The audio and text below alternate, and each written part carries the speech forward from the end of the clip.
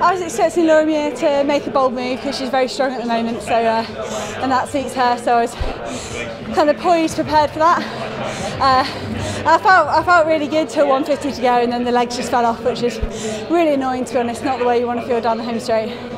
As you said, you know Laura obviously pushed really hard, and, and her out on the own there, winning by four seconds, it shows how much she pushed for that. Um, you know, just how did you feel where you, you know, coming into this? How did you feel sort of physically? I've had a very annoying um, time since New Year. Really, I've uh, struggled with some red blood test results and been sort of under par, and it's very annoying to try and get your training done when you don't feel yourself. But training's been going pretty well, and I felt great in the heats last night. So, so I was hoping today might be a big step forward, but it wasn't as you said, you know, you've got to pick yourself up from this and, and, move forward. What races have you got coming up as well this year? I'm going to talk to my coach, see how I recover from this, but um, hopefully in a few more races. I mean, still only two girls of the A standard.